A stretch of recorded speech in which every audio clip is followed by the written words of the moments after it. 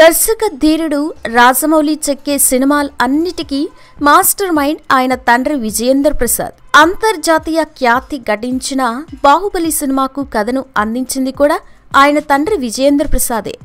రాజమౌళి కెరీర్లో తీసిన కొన్ని సినిమాలకు ఆయనే కథను సమకూర్చారు. ఒక్క స్టూడెంట్ నెంబర్ వన్ మర్యాద రామన్న సినిమాలు తప్ప అన్నింటికీ కథను ఇచ్చారు. ఈ తండ్రి కొడుకుల ద్వయం చేసే మ్యాజిక్ సినిమాలకు కోట్ల రూపాయల కనక వర్షం కురుస్తోంది.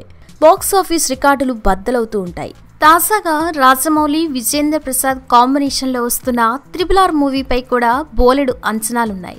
విజేంద్ర ప్రసాద్ కథను అందిస్తే దాన్ని రెండు వందల శాతం అధికంగా తెరపై చూపించగల సామర్థ్యం రాజమౌళికి ఉంది.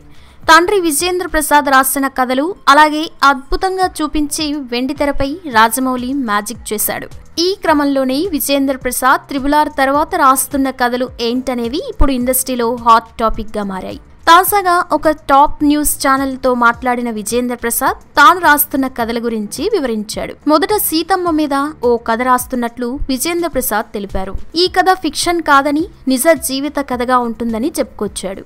ఆ తర్వాత రంజిత్ సింగ్ దిశాలే అనే ఒక మహారాష్ట్ర టీచర్ కథను రూపొందిస్తున్నట్లు తెలిపారు.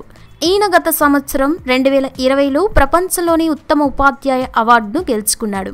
అది కూడా నూట ఇరవై ఆరు దేశాల నుంచి పన్నెండు వందల మంది ఉపాధ్యాయులు పోటీపడ్డ కఠిన పోటీ నుంచి తట్టుకొని ఈ అవార్డు సాధించాడు.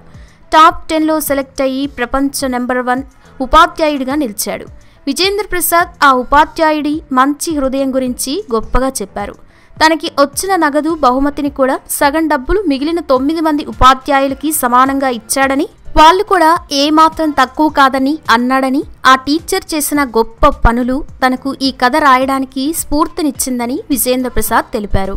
టీచర్ రంజిత్ సింగ్ దిశాలే బయోపిక్ కథ రాస్తున్నట్లు విజేంద్ర ప్రసాద్ తెలిపారు. ఇక టైం మిషన్ టైం ట్రావెల్ మీద ఒక కథనాన్ని రాస్తున్నానని అది హిందీ ఇంగ్లీష్ భాషల్లో రూపొందుతుందని విజేంద్ర ప్రసాద్ తెలిపారు. అలాగే రాజమౌళి మహేష్ బాబు సినిమాకు కూడా రాయాలని అది వాళ్ళకు నచ్చితే తీసుకుంటారు కానీ రాసినంత మాత్రాన తీసుకోవాలని లేదు అని అభిప్రాయపడ్డారు. ఇక పవన్ కళ్యాణ్తో సినిమా ఎప్పుడు అని అడిగితే విజేంద్ర ప్రసాద్ అవన్నీ అబద్ధాలేనని కొట్టిపడేశాడు. నేను ఎప్పుడూ పవన్ కళ్యాణ్కు కథ చెప్పలేదని తను ఎప్పుడూ నేను చెప్పిన కథ వినలేదు అని సరదాగా చెప్పుకొచ్చారు. అవకాశం వస్తే రాయాలని ఉందని పవన్ కళ్యాణ్కు తాను కూడా ఫ్యాన్ అని విజేందర్ ప్రసాద్ ఆసక్తికర వ్యాఖ్యలు చేశారు. ఇలా తన సినిమా ప్రయాణాన్ని తన భవిష్యత్తులో రాస్తున్న కథల గురించి విజేంద్ర ప్రసాద్ వివరించారు.